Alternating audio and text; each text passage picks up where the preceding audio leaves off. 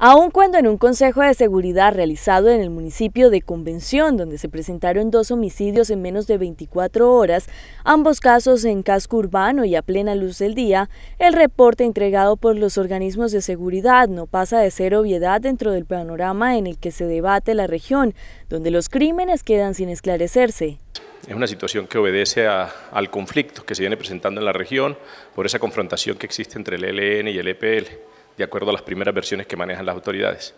Sin embargo, la preocupación en las autoridades locales sigue ya que la problemática tiende a agudizarse, por lo que se está pidiendo la realización de un Consejo de Seguridad del nivel departamental para que se dispongan nuevas acciones tendientes a retomar el control del municipio en materia de orden público, donde la comunidad se ha visto seriamente afectada. Para que entre todos nos ayuden a buscarle una solución a este problema que hoy en día está afectando a toda la sociedad convencionista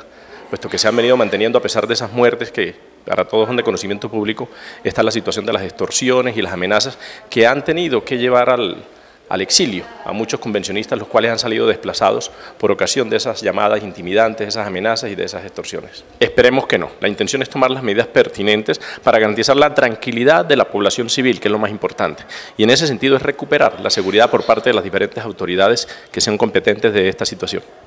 El problema no es solo de los convencionistas, quienes son los directos afectados, según lo considera el alcalde, por lo que pide acciones a las autoridades regionales y nacionales y se convoque para lo más pronto posible el Consejo de Seguridad.